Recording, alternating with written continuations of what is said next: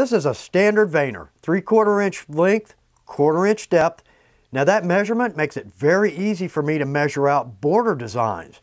But when I'm working on my tooling, particularly my floral, there's a number of places I can use this. First and foremost, I'm going to use it on a leaf to give that leaf some depth and some curvature to the leaves to make it appear like a leaf. Now, as I work my way down, I'm going to use less and less of the whole tool. I'm going to start picking up the inside and putting a little more pressure on the outside of the tool.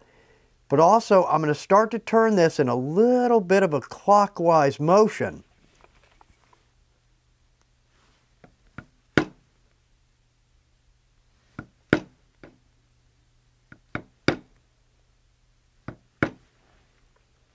Very nice. That leaf now has some depth to it.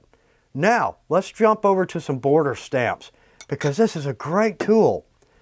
First off, I can certainly use my Veiner just by itself because it's a very crisp, very clean tool. Now in that, I can see every detail in the tool head. But I tend to like to get my design to maybe flow a little bit more into the belt.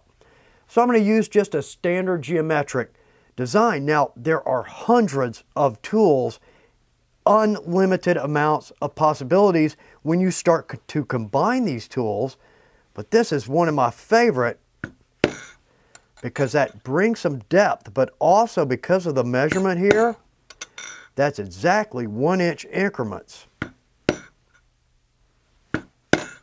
And let's make about two more, and that should measure out nicely. But this tool, it's got a very, very nice burnish feel to it as well. So that makes a great border, doesn't it? Looks good, looks clean.